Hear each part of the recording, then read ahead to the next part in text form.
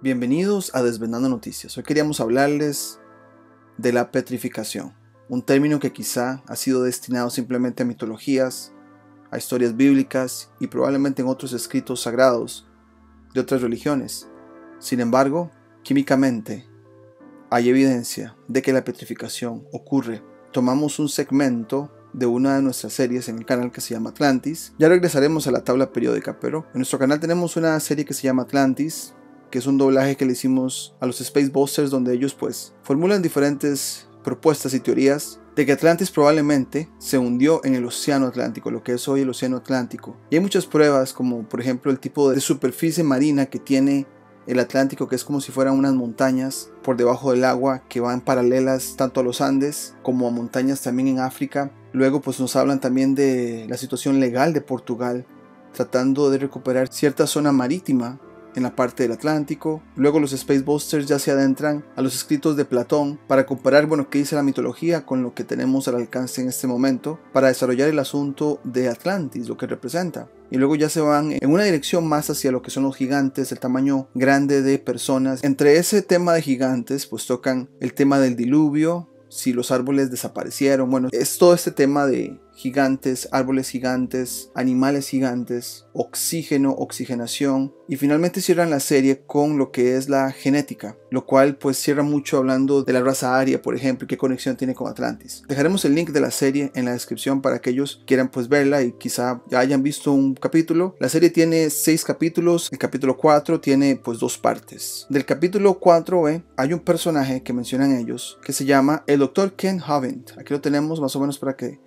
se una idea. Él es un personaje, digamos que en las comunidades evangélicas estadounidenses, sin embargo, usa la ciencia para muchos de sus mensajes y libros, y de hecho tiene una teoría muy interesante acerca de la petrificación con ejemplos y evidencias del cual los Space Busters pues toman parte si lo ponen en la serie Atlantis y quería hoy mostrarles la pequeña parte donde él habla de la petrificación. Con esto de la petrificación volveremos a la tabla periódica. Hay una tabla periódica que es de los alquimistas o la tabla alquimista de símbolos, donde pareciera que es como una copia carbón de lo que conocemos hoy en día como la tabla periódica. En esta parte vamos a ver que está el carbón y en la actual también está el carbón, o sea, comparten. Una cosa de la que se habla en química es que en esta área estos grupos, digamos como en columnas, comparten las mismas propiedades y van a ver acá que el carbón y el silicio están en el mismo grupo y los Space Boosters para esta parte, con la teoría del Dr. Ken Hoven, nos hablan de que la petrificación podría tomar lugar en esos elementos llamados metaloides. Acá tenemos una representación más gráfica de que los color verdes son llamados metaloides. Ahora, esto de metaloide es interesante porque la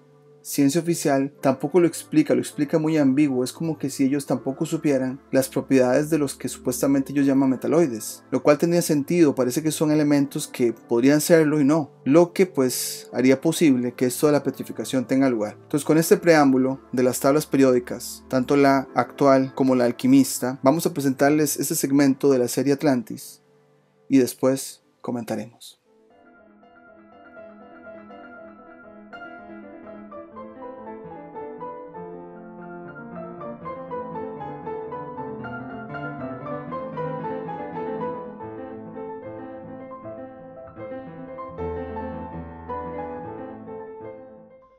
Las diferencias clave entre el silicio y el carbono es que el carbono no es un metal, mientras que el silicio es un metaloide. No tengo ni idea de lo que eso significa, y aparentemente tampoco la disquesciencia oficial, ya que definen un metaloide como un término impreciso que se usa para describir un elemento químico que forma una sustancia simple que tiene propiedades intermedias entre las de un metal típico y un no metal típico. No existe una propiedad única que pueda utilizarse para identificar sin ambigüedades un elemento como metaloide. Bueno, eso lo aclara todo. Gracias por eso. Las cosas no duran mucho en petrificarse, en absoluto. Las cosas pueden petrificarse rápidamente. Tenemos algunos ejemplos aquí sobre la mesa y te las mostraré. Una imagen de la rueda hidráulica petrificada, una leña petrificada, fue cortada antes de petrificarse. Ve al Southern Forest Wall Museum en Georgia. Hay un perro momificado atrapado dentro de un árbol. Algunas personas dicen que está petrificado o que está momificado. No sé, todavía no he estado ahí.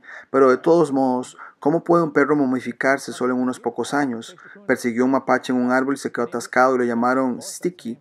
Por supuesto, es el nombre del perro. Hicieron un concurso por el nombre y lo llamaron Sticky.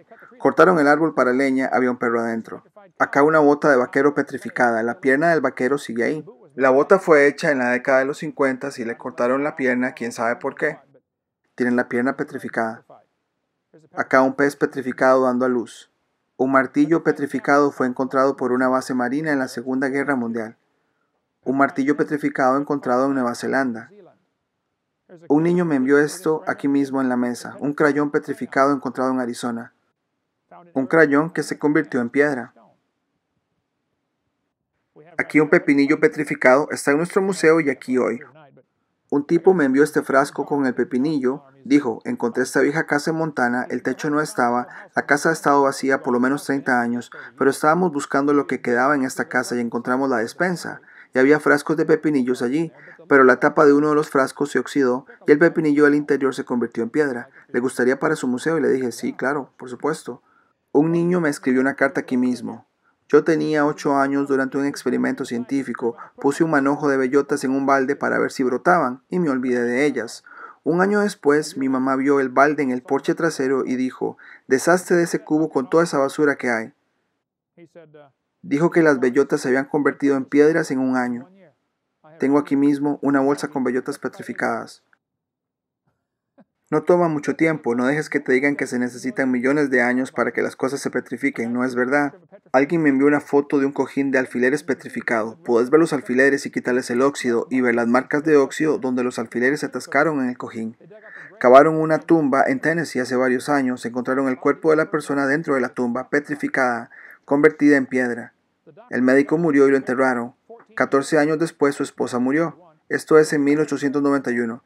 Cavaron un hoyo para enterrar a la abuela y el agua entró por el hoyo y pensaron, no queremos enterrar a la abuela en el agua, así que la enterraron en otro lugar. Se preocuparon por el abuelo y del agua subterránea en movimiento, entonces desenterraron al abuelo que había estado allí durante 14 años, y el artículo dice que el ocupante del ataúd se había convertido en piedra, presumiblemente como resultado del flujo continuo de agua. Dijeron que los brazos se habían podrido, pero el resto del cuerpo se había convertido en piedra. Un tipo encontró a un hombre petrificado en Montana, llevó el cuerpo al Museo de la Curiosidad durante años en carnavales y ferias y esas cosas, cuerpo petrificado de un hombre a la orilla de un río. En Sao Paulo, Brasil, una señora fue al hospital y dijo, me duele el costado. La señora tenía 62 años. Hicieron los rayos X y encontraron un feto de bebé petrificado adentro. Ella había estado embarazada y el bebé casi llegó a término y aparentemente murió y se convirtió en piedra dentro de su cuerpo. Señora de 62 años con un bebé petrificado adentro. Ahí está el artículo para que lo lean.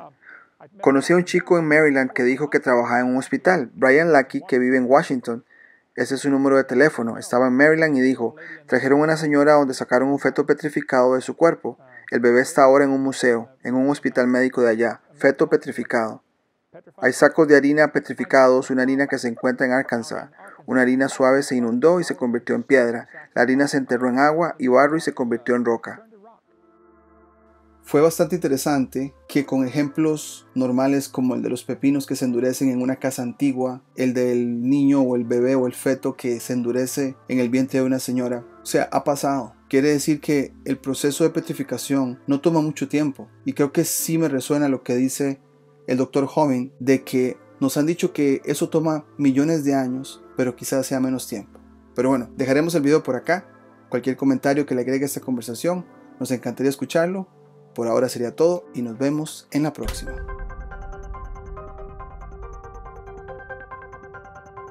Si te gustó el contenido del canal no olvides suscribirte, darle campanita para notificaciones, darle me gusta, comentar o compartir.